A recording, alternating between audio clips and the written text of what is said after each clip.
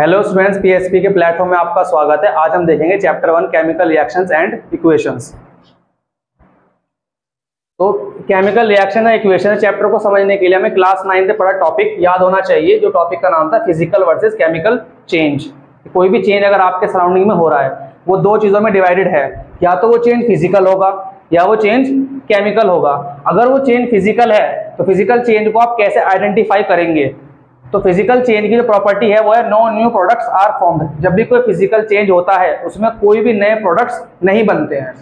और अगर कभी केमिकल चेंज हो रहा है तो उसमें new products are form chemical change में हमेशा न्यू प्रोडक्ट्स फॉर्म होते हैं। दूसरी प्रॉपर्टी ये है कि इजीली रिवर्सिबल जो फ़िज़िकल चेंज होता है आपका, वो इजीली रिवर्सिबल होता है। यानी कि उसे रिवर्स किया जा सकता है। और केमिकल चेंज आपका इजीली रिवर्सिबल नहीं होता है। उसके लिए आपको बहुत सारे केमिकल मेथड्स डिस्टिलेशन वगैरह प्रोसेस लगते हैं, जिसकी हेल्प से आप केमिकल चेंज को रिवर्स कर सकते हो। दूसरी चीज़ क्या है? इनके examples melting of ice is an example of physical change अगर कहीं आइस की मेल्ट हो रहा है, अगर आइस मेल्ट हो रही है, आपने आइस रखी है तो वो मेल्ट हो रही है। एक स्टेट से दूसरे स्टेट में जा रही है। यानी पहले सॉलिड थी, फिर लिक्विड बन गई। मेल्टिंग ऑफ़ आइस आइस से पानी बन गया। तो ये कौन सा चेंज है? फ़िज़िकल चेंज है। क्योंकि अभी इसमें एक तो प्रोडक्ट्स नए फॉर्म नहीं है आइस भी पानी है और पानी तो है ही पानी। अब वो जो पानी है, जो आपका वाटर बना, अब वो वाटर जो है वापस से अगर हम फ्रीज में रखेंगे, उसको फ्रीज करेंगे रिक्वायर्ड टेम्परेचर देंगे तो फिर से वो क्या बन जाएगा? आइस बन जाएगा। तो ये प्रोसेस रिवर्सिबल भी है और इसमें कोई नए प्रोडक्ट्स फॉर्म नहीं हुए हैं। तो दोनों प्रॉपर्टी पाई जा रही है। इसका मतलब मेल्टिंग ऑफ़ आइस किसका एग्ज़ाम्पल हुआ? फ़िज़िकल चेंज का।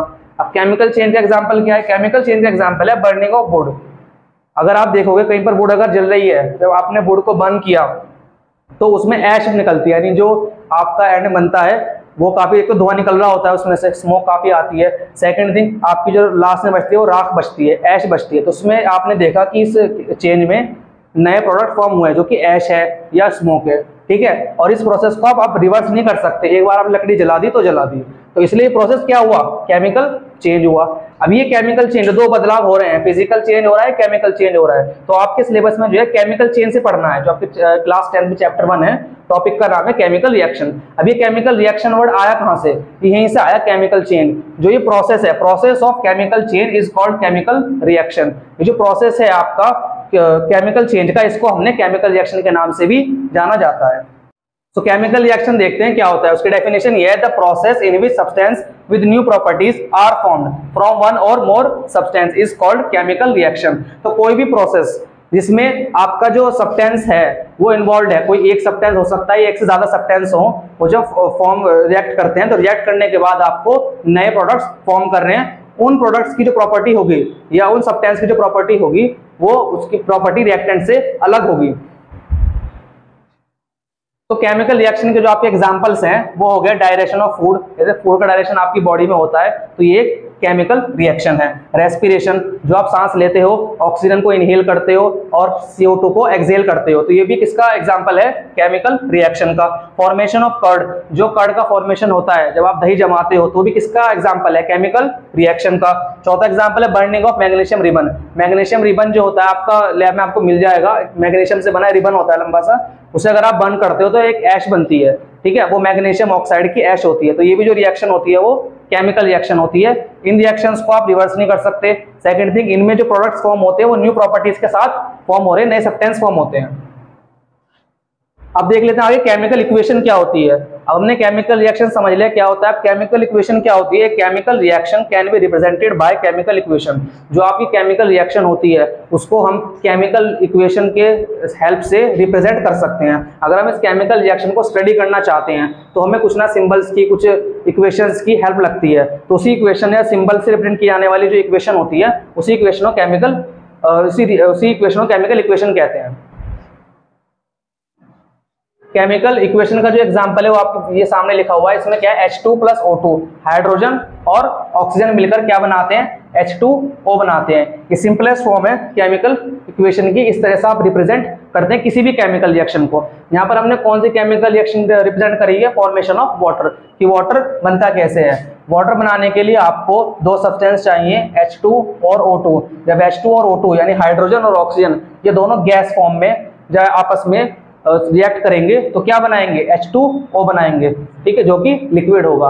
ये जो ब्रैकेट में आपकी चीज़ें लिखी हैं, ये स्टेट बताती हैं। कोई भी सब्सटेंस या एलिमेंट आपने किस स्टेट में लिया है, वो जानने के लिए आपको इन ब्रैकेट में देखना होता है कि कौन सी स्टेट लिखी गई है, ठीक है? स्टेट्स ऑफ़ मैटर आपने पढ़ रखा है सॉलिड लिक्विड गैस ठीक है तो अगर एस लिखा है ब्रैकेट में, इसका मतलब है कि वो स्टेट किसमें, वो सब्सटेंस जो आपका अवेलेबल है, वो कौन सी स्टेट में अवेलेबल है? वो अवेलेबल है सॉलिड स्टेट में। अगर एल लिखा है तो वो कौन सी स्टेट में अवेलेबल है? वो अवेलेबल लिक्विड स्टेट में। और अगर जी लिखा है तो वो कैसे स्टेट में। और अगर ए क्यू लिखा है तो ए क्यू का मतलब होता है एक्वा सॉल्यूशन यानी कि वो सब्सटेंस सॉलिड में ना होकर पानी में घोल के रिएक्ट किया गया है। ठीक है? एक्वस का मतलब वाटर हो जाता है। ठीक अगर ट्राइंगल का आपको इस तरह से मार्क नहीं दिखता है ये यूजुअली यहाँ पर लगाया जाता है इस जगह। कंडीशन दिखाने के लिए कौन सी जो केमिकल रिएक्शन है, वो किन कंडीशन में किस कंडीशन में रिएक्ट हुई है? तो ये किस कंडीशन में फॉर्म हुआ है? हीट की फॉर्म में, यानी कि हमने यहाँ पर हीट सप्लाई की है। तो ट्राइंगल का जो सिंबल होता है, वो हीट को रिप्रेजेंट करता है।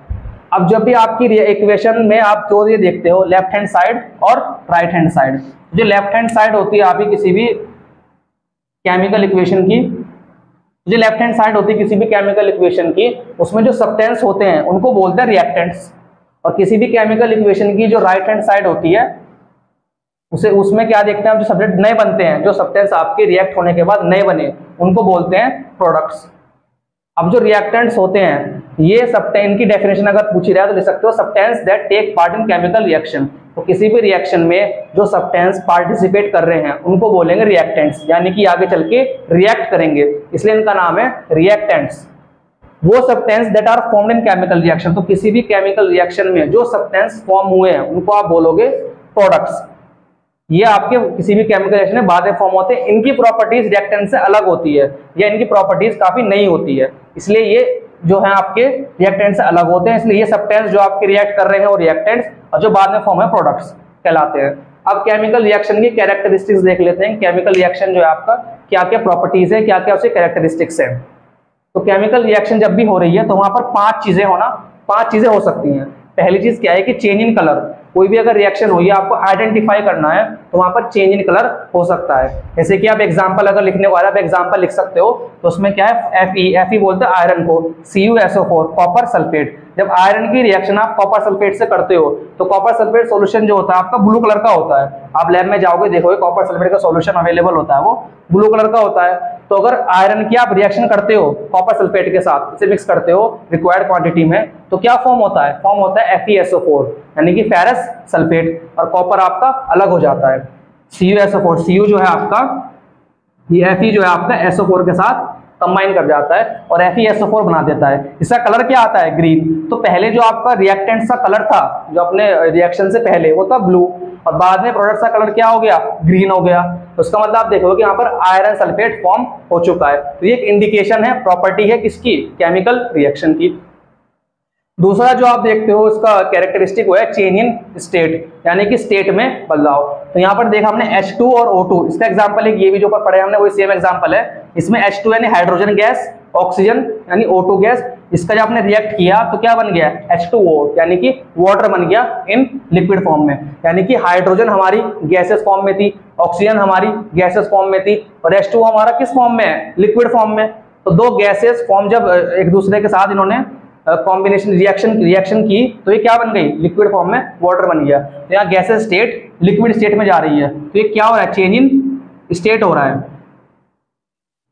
सेकेंड थिंग क्या है कि चेंज इन टेम्परेचर टेम्परेचर में थर्ड थर्ड प्रॉपर्टी आपकी चेंज इन टेम्परेचर अब यहाँ पर टेम्परेचर में चेंज आएगा। जैसे कि एग्ज़ाम्पल आप देख सकते हो calcium oxide C plus water जब आपने कैल्शियम ऑक्साइड से क्विक लैम्प भी बोलते हैं, जब वो रिएक्ट करता है वाटर के साथ तो क्या बनाता है? Calcium hydroxide plus heat. Heat release करता है।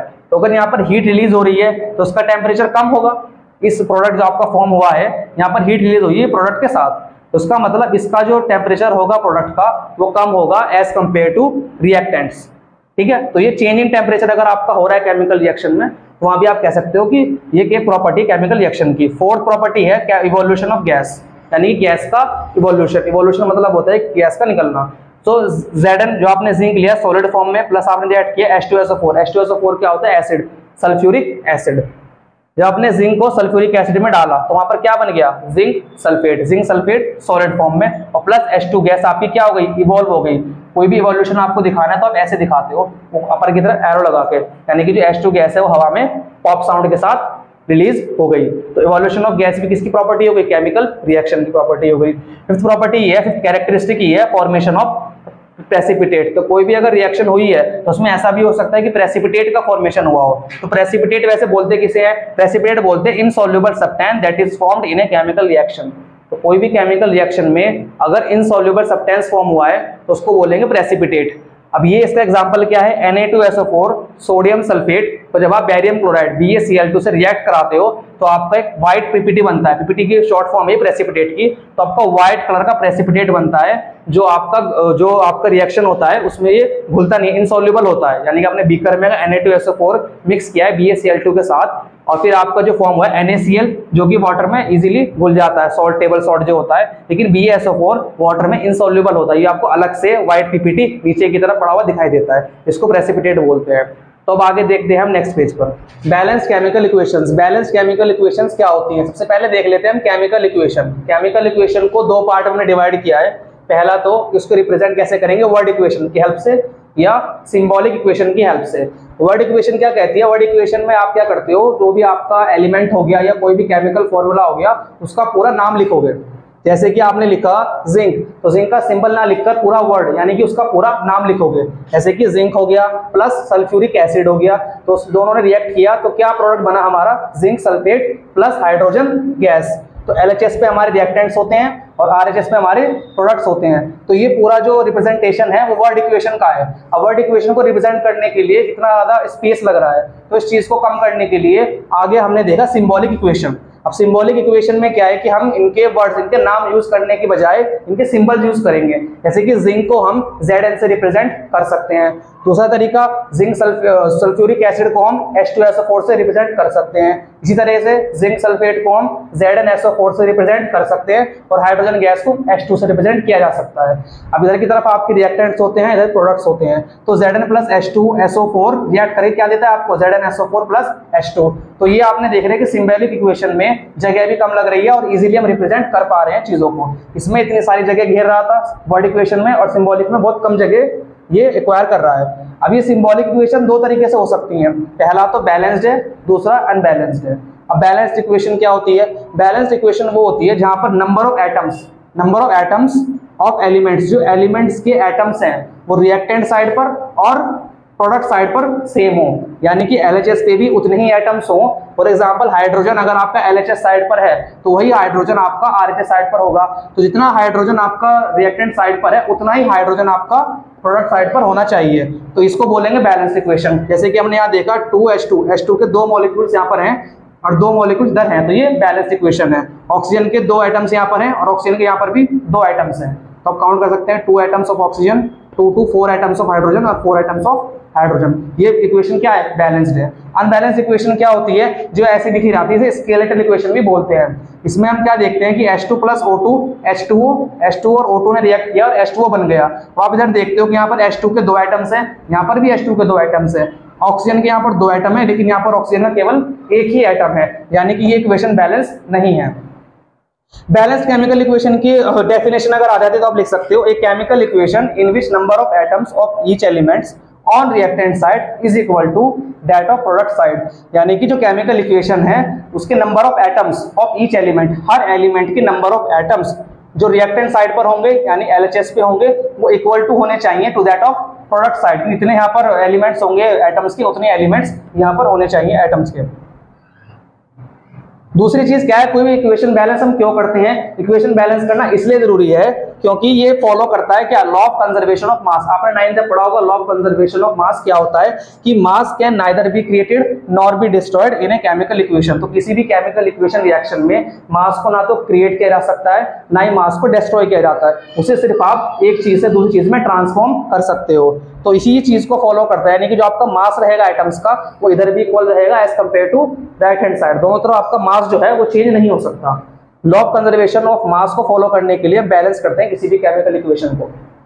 तो बैलेंस करने के लिए आपको केमिकल इक्वेशन है कोई ऐसा डायरेक्टली मेथड तो नहीं है, पर एक सिंपल मेथड है जो आपकी बुक में दिया गया उस मेथड को बोलते हैं hit and trial method hit and trial method या जुगाड़ मेथड आप इसे कह सकते हो। यहाँ पर हम तुक्का लगाते हैं और दोनों तरफ़ एटम जो है बैलेंस करने की कोशिश करते हैं। तो इसका पहला स्टेप होता है, आप ये क्वेश्चन देख सकते हो F E plus H two O जो आप रिएक्ट करें, क्या बनेगा फेरस ऑक्साइड Fe3O4 और H2 हाइड्रोजन गैस रिलीज़ हो गई। तो यहाँ पर आपने देखा कि जो ये अनबैलेंस इक्वेशन है, ये अनबैलेंस इक्वेशन है कैसे पता चला? यहाँ पर आयरन कितने आइटम है? एक ही आइटम है। यहाँ पर आयरन कितने आइटम है? थ्री आइटम्स है। तो उसका मतलब ये जो इक्वेशन है, ये अनबैलेंस्ड है। अब इसको आपको बैलेंस करना है तो आप पहले तो एक टेबल बना लें इसमें आप एलिमेंट्स लिखें यहाँ पर। कितने एलिमेंट्स यूज़ है इक्वेशन में? एफ़ ई एच और ओ यानी आयरन हाइड्रोजन और ऑक्सीजन फिर आप देखें कि रिएक्टेंट साइड पर कितने आइटम्स हैं? रिएक्टेंट साइड पर जब आप देखोगे तो आपको दिखेंगे कि आयरन का सिर्फ़ एक ही आइटम है। हाइड्रोजन के दो आइटम है। ऑक्सीजन का सिर्फ़ एक ही आइटम है। अब आप देखोगे प्रोडक्ट साइड पर कितने आइटम है। तो प्रोडक्ट साइड पर आप देखते हो तो आयरन के यहाँ पर थ्री आइटम्स हैं। हाइड्रोजन का हाइड्रोजन के टू आइटम्स हैं और ऑक्सीजन के फोर आइटम्स हैं। अब हम इसको बैलेंस करना है। बैलेंस करने से पहले, सबसे पहले आप जो है इक्वेशन को लिख लें।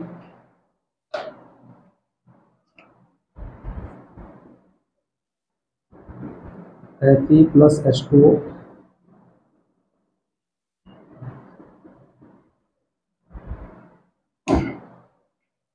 ये लिखने के बाद आपको क्या करना है? इस इक्वेशन के आसपास आपको बॉक्स बना देना है। और जो आपके केमिकल फॉर्मूले हैं, या एलिमेंट्स हैं, इस तरह से आप बॉक्स बना सकते हैं। इस बॉक्स का मतलब है कि जब भी आप इस चीज़ को बैलेंस कर रहे हो तो आपको जो अंदर के एलिमेंट्स हैं, इनमें कोई बदलाव नहीं करना है। ये जो फॉर्मूले लिखे हैं, ये फिक्स हैं। अगर आप इनमें चेंज कर दोगे तो वह आपका जो केमिकल प्रोडक्ट है, या सब्सटेंस है, वही चेंज हो जाएगा। हमने देखा कि केमिकल इक्वेशन में ये रिएक्टेंट्स ने हमें ये प्रोडक्ट दिया। ठीक है? अगर आप बैलेंस करते टाइम इनके अंदर कोई चेंज करते हो तो वो सब्सटेंस ही चेंज हो जाता है। तो जो भी चेंज करते हैं, हम इनके साथ चेंज करते हैं। फॉर एग्ज़ाम्पल हमने देखा कि यहाँ पर ऑक्सीजन जो है, इस साइड वन है, इधर ऑक्सीजन कितना है? फोर है। तो सबसे ज़्यादा डिफरेंस किसमें दिखाई दे रहा है? ऑक्सीजन में। जब भी आप बैलेंस बॉक्स से पहले आप वो आइटम देखोगे जिसमें डिफरेंस सबसे ज़्यादा हो। ऑक्सीजन में डिफरेंस सबसे ज़्यादा दिख रहा है, क्योंकि हाइड्रोजन दोनों तरफ़ सेम है। आयरन का डिफरेंस जो है थ्री माइनस वन दो आइटम्स का डिफरेंस है। लेकिन ऑक्सीजन का डिफरेंस थ्री है। Four minus one three difference आ रहा है। तो अगर हम ऑक्सीजन को बैलेंस करें तो हम क्या करेंगे? ऑक्सीजन यहाँ पर कहाँ दिख रहा है आपको? आयरन H2O H2O के पास क्या है? ऑक्सीजन है। अब ऑक्सीजन को बैलेंस करने के लिए हमें फोर करना होगा इधर भी कितना ऑक्सीजन है? फोर है। तो हम यहाँ फोर करने के लिए यहाँ पर फोर लिखेंगे। तो फोर से जब हम मल्टीप्लाई करेंगे तो हम सिर्फ़ एटम को मल्टीप्लाई नहीं करेंगे पूरे मॉलिक्यूल को मल्टीप्लाई करेंगे, क्योंकि इसके अंदर हम कोई चेंज नहीं कर सकते हैं। क्योंकि अगर हम इसके अंदर कोई चेंज करते हैं फॉर एग्ज़ाम्पल अगर हम यहाँ पर कोई चेंज करते थे कि ये क्या है आपका H2O वाटर का फॉर्मूला है। अगर हमने इसके अंदर चेंज करके H2O2 कर दिया तो ये हाइड्रोजन पर बन गया। ये कोई और ही चीज़ बन गई है। ये आपका वाटर नहीं रहा फिर। तो हमारी जो रिएक्ट सब्टेंस है, हमें सब्टेंस के साथ कोई छेड़छाड़ नहीं करनी है। तो इसलिए हम यहाँ पर अंदर चेंज नहीं कर सकते। हमें जो भी चेंज करना है, उस पूरे सब्टेंस की हम क्वांटिटी इंक्रीज कर सकते हैं। हम किसी एक एलिमेंट की क्वांटिटी इंक्रीज या डिक्रीज नहीं कर सकते। अगर हम किसी एक एलिमेंट की क्वांटिटी इंक्रीज या डिक्रीज करेंगे तो वो पूरा सब्टेंस ही चेंज हो जाएगा। जैसे कि H2O से H2O2 हाइड्रोजन पर बन गया। अब यहाँ हमने देखा कि ऑक्सीजन को बैलेंस करने के लिए हमने फोर से पूरे मॉलिक्यूल को मल्टीप्लाई किया, यानी कि फोर टाइम्स H2O लिया। तो फोर टाइम्स हमने लिया तो ये कितना हो गया आपका? अब यहाँ पर फिर से चेक करते हैं टेबल को ठीक करते हैं। आयरन कितना है यहाँ पर? वन है, इधर थ्री है। हाइड्रोजन कितना यहाँ पर? H two two items hydrogen के अंदर है? और बाहर फोर से मल्टीप्लाई कर तो कितने आइटम्स हो गए? फोर टू जा एट। एट कितने हो गए? एट आइटम्स हमारे हाइड्रोजन के इधर हो गए अब आप देख रहे हैं, इधर तो आपने कोई चेंज किया नहीं था। तो अगर आप देखते हैं इधर की तरफ़ तो हाइड्रोजन के आइटम इधर ऑक्सीजन के आइटम्स कितने हो गए यहाँ पर? फोर तो आप देख रहे हो यहाँ पर फोर तो ऑक्सीजन के आइटम्स हैं और हाइड्रोजन के आइटम्स कितने हैं? टू तो आपके फॉर्मूले के अंदर पहले ही है और फोर से आपने मल्टीप्लाई किया। तो टू फोर सा एट यानी कि एट आइटम्स आपके हाइड्रोजन के हैं। तो आपने देखा कि यहाँ पर ऑक्सीजन तो बैलेंस हो गया। हाइड्रोजन जो है आपका, उसमें एट आइटम्स इधर हैं और टू आइटम्स इधर हैं। यानी कि अभी आप देख रहे हो, सबसे ज़्यादा डिफरेंस किसमें है? अभी सबसे ज़्यादा डिफरेंस आपका हाइड्रोजन में है, क्योंकि ऑक्सीजन आपका बैलेंस हो चुका है। आयरन देखोगे आप तो वन आपका आइटम इधर है आयरन का थ्री उधर है। यानी कि इसमें डिफरेंस कम है। सबसे ज़्यादा डिफरेंस फिर किसमें है आपका? हाइड्रोजन में। तो हाइड्रोजन को आप बैलेंस करने की कोशिश करेंगे। तो उसके लिए हम क्या करेंगे? यहाँ पर ऑलरेडी एट आइटम्स है। तो उसमें तो मल्टीप्लाई नहीं कर सकते हम, ठीक है? तो हमें क्या करना होगा? प्रोडक्ट साइड की तरफ़ जाना होगा। प्रोडक्ट साइड में आप हाइड्रोजन देखते हो तो उसको हम फोर से मल्टीप्लाई करेंगे। टू फोर जा एट तो यानी कि इस पूरे मोलिक्यूल को हम फोर से मल्टीप्लाई करेंगे। ठीक है? तो हमने देखा कि यहाँ पर ऑक्सीजन बैलेंस हो चुका है आपका। इस तरह से आपका हाइड्रोजन बैलेंस हो गया। तो आपका लास्ट बचा आयरन आयरन को बैलेंस करते हैं। इधर देखा आपने आयरन तो यहाँ पर थ्री है। पहले से ऑलरेडी बहुत ज़्यादा आइटम्स है यहाँ पर। और हमारे इधर देखते हो तो आप एक ही आइटम है। तो इसको इक्वल करने के लिए हम इसे भी थ्री से मल्टीप्लाई कर देंगे। जब थ्री से मल्टीप्लाई करेंगे। अब हम अगर अपनी क्वेश्चन को देखते हैं तो हमें जो है इधर आयरन के आइटम्स कितने हैं? थ्री इधर कितने हैं? थ्री दोनों तरफ़ सेम हो गया। हाइड्रोजन देख लेते हैं। हाइड्रोजन कितने आइटम्स इधर? टू टू फोर जा एट एट आइटम्स है। हाइड्रोजन के देखते हैं टू फोर जा एट एट आइटम्स हैं। ऑक्सीजन कितने यहाँ पर? फोर वन जा फोर और फोर एफ़ थ्री और फोर में ऑलरेडी है तो फोर आइटम्स तो इस तरह से जो आपकी इक्वेशन है, वो बैलेंस्ड हो चुकी है। अगर आपको प्रैक्टिस करना है तो प्रैक्टिस के लिए ये इंपॉर्टेंट इक्वेशन दी गई हैं। इन्हें आप प्रैक्टिस कर सकते हैं और अपने आंसर को चाहे तो कमेंट बॉक्स में छोड़ सकते हैं। तो अब मिलते हैं नेक्स्ट वीडियो में नए टॉपिक के साथ।